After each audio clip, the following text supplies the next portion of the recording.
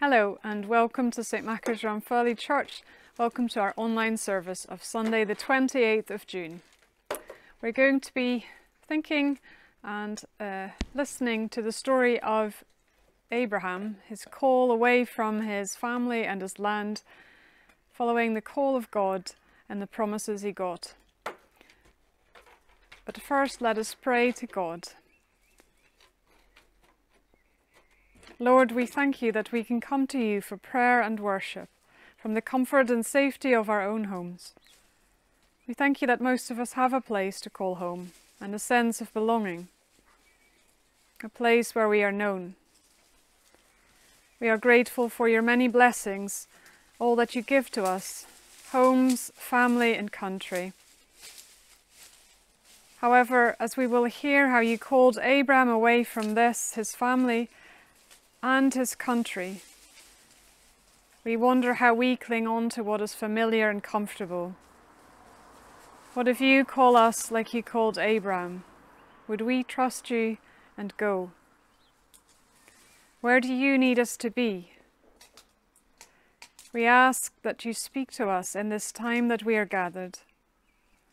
Send your Holy Spirit to prompt and nudge us on the roads where you will have us journey. Open our hearts, Lord, so we will discern your call on our lives. Help us to trust you and obey your commands, even when it is costly and scary. We confess our deafness to hear your call and our reluctance to heed it. Forgive us and stir us up to obedience once more. We pray this in Jesus' name. Amen. We will now listen to the reading from Genesis chapter 12, the verses 1 to 9.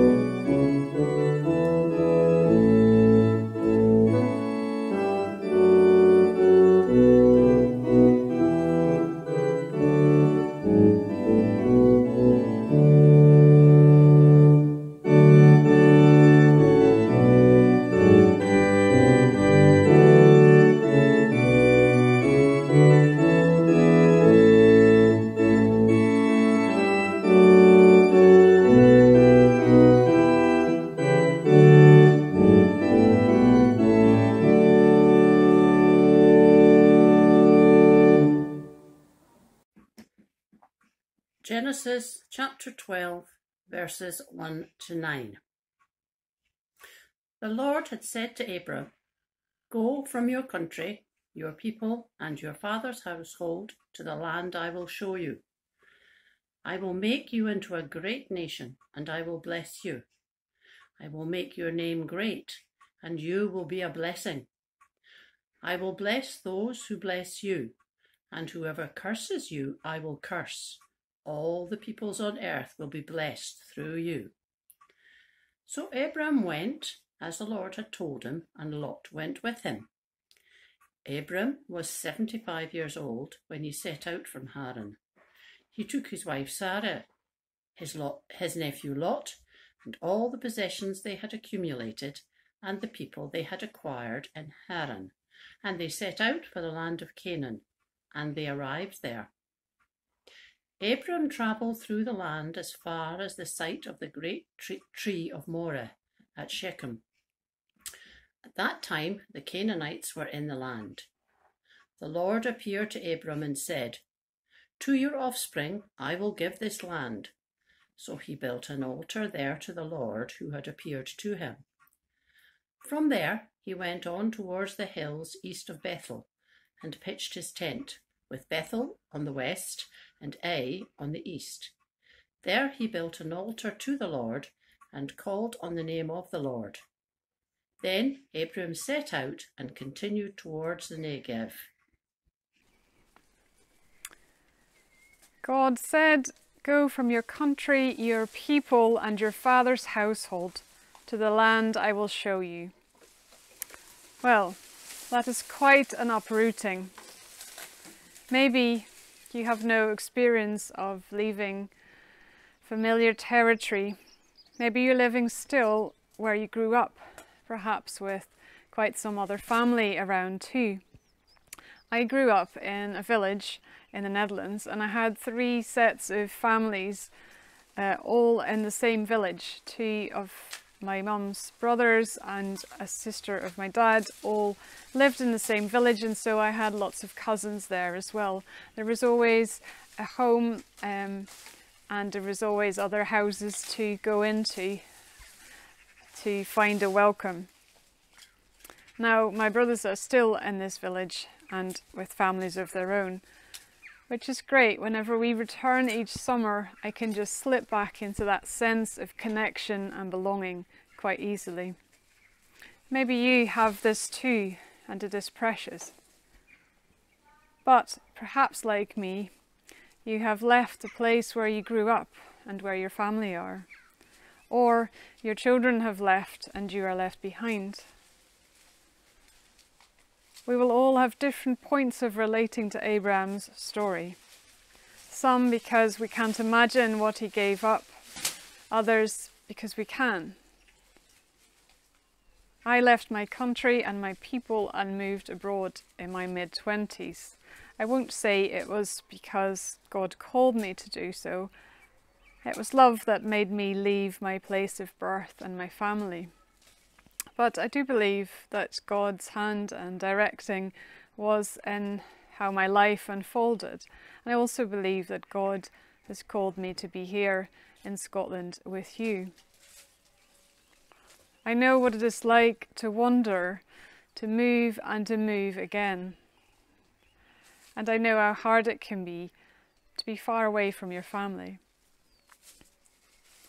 When you move away from the place where you and your family are known, you can feel quite anonymous.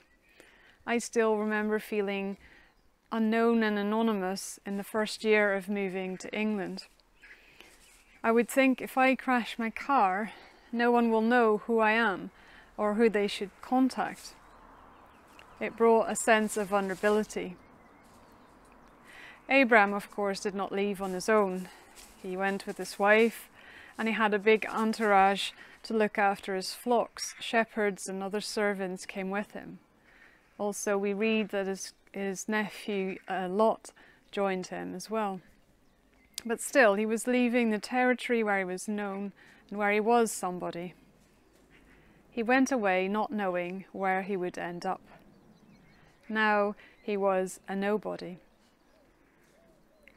Against the backdrop of that uprooting and that loss of identity, God's promises to Abraham sound more significant.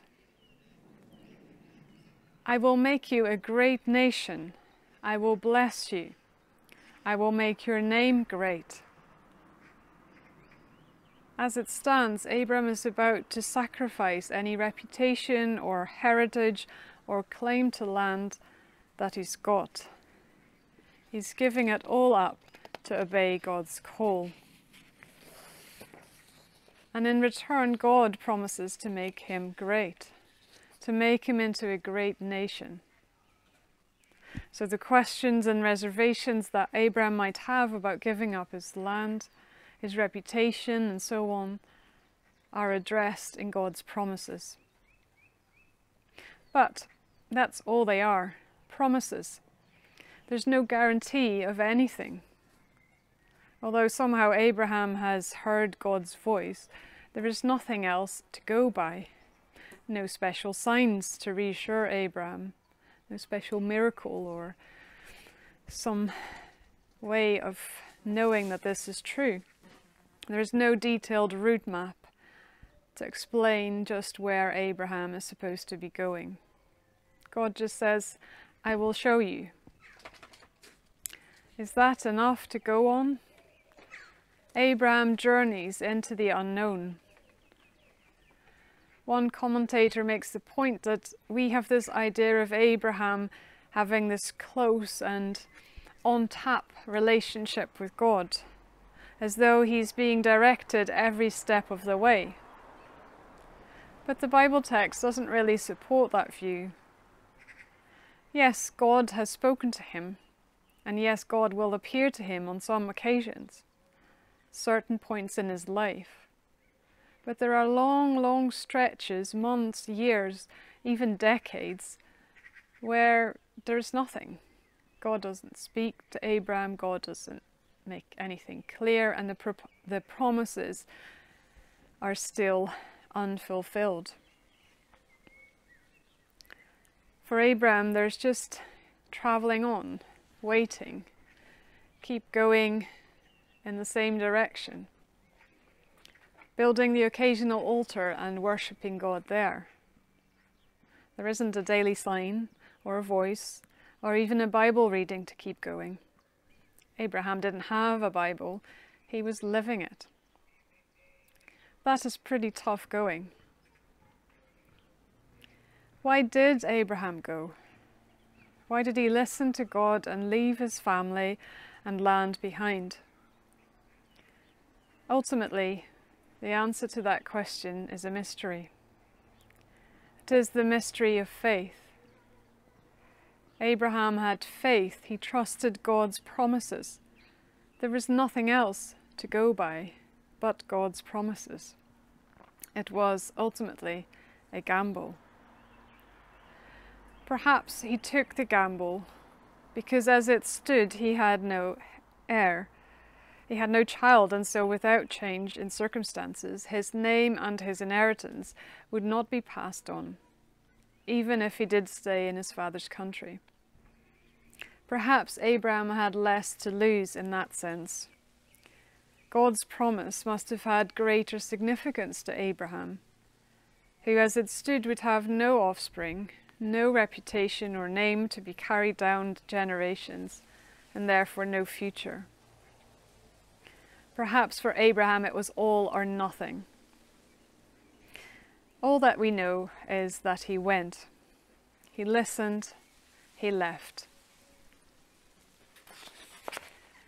Will his faith gamble work out? Time will tell. We will follow Abraham's life and faith journey over the summer. If you are familiar with the story, the stories, then you might know that it has its highs and lows. The question if God will fulfill his promises and give him a son and land to call his own keeps cropping up. God takes his time. Hebrews chapter 11 says that Abraham obeyed and went by faith, even though he did not know where he was going. By faith, he made his home in the promised land like a stranger in a foreign country. Faith is the key thing that Abraham is known and praised for. But faith is far more than just believing God exists or assuming God is on our team. Faith ultimately is trust. Faith is ultimate trust. Trust to the point of staking your whole life on God's promises. Being prepared to obey God's call and leave what is familiar, comfortable, and secure. What Abraham is called to do and give up sounds very familiar to what Jesus asks of those who want to follow him.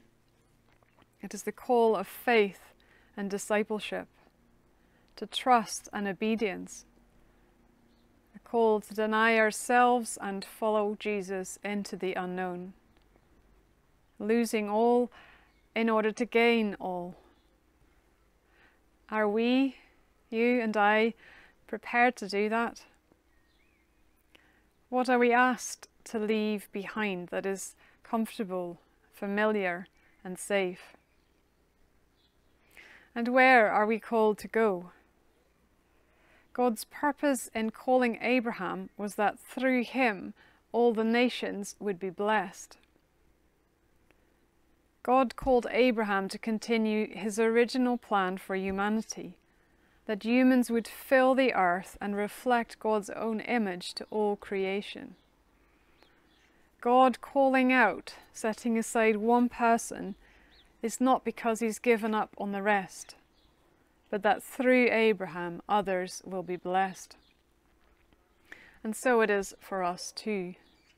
God calls you and me not just so that we personally are blessed and happy and comfortable, but that others may be blessed through us.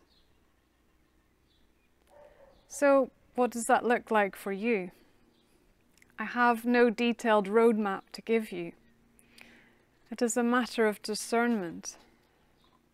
Look and listen out for God's call on your life today, this week, and so on.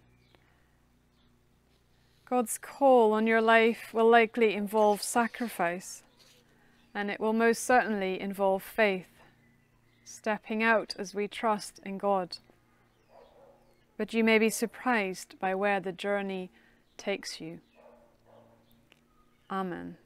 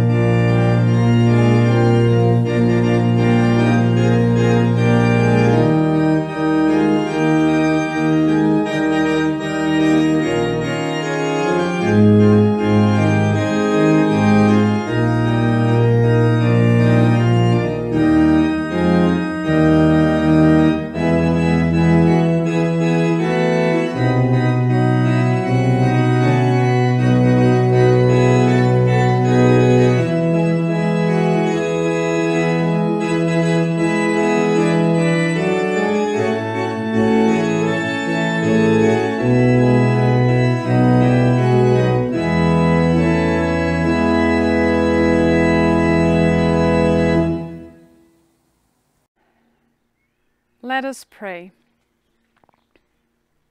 God, we give thanks for the faith, obedience, and example of Abraham.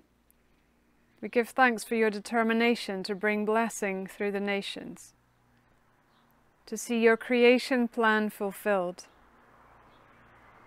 We thank you that your call has been extended to us also, that you love us and bless us and call us to extend your blessing to others. Help us to discern your call on our own lives and that of our church. Give us the courage to leave behind the familiar and the comfortable and to trust you for our future and identity.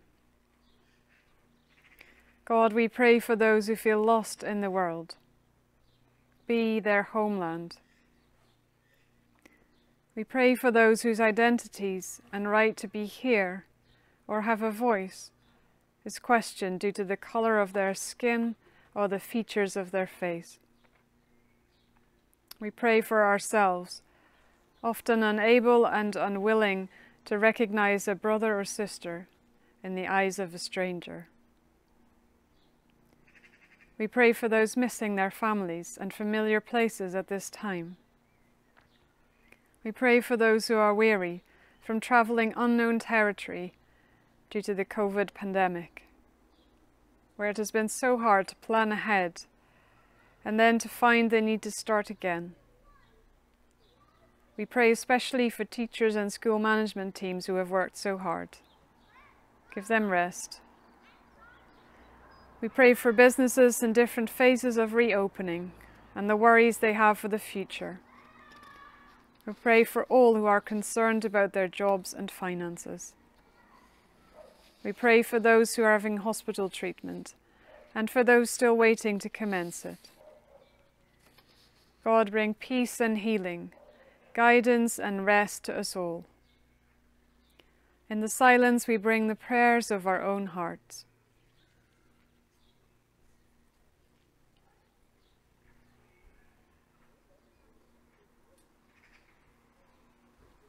And we finish by praying the Lord's Prayer together. Our Father, who art in heaven, hallowed be your name.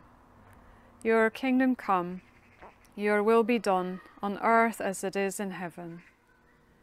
Give us this day our daily bread, and forgive us our debts, as we forgive our debtors. And lead us not into temptation, but deliver us from evil. For yours is the kingdom, the power, and the glory, forever.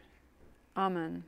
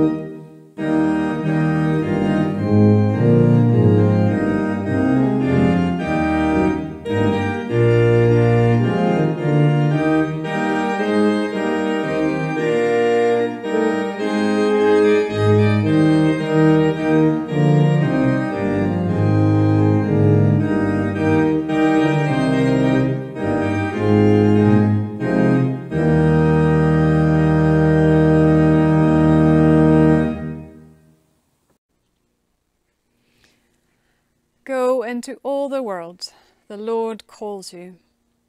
He will bless you and use you to bless others. The grace of our Lord Jesus Christ, the love of God, and the fellowship of the Holy Spirit be with you now and forevermore. Amen.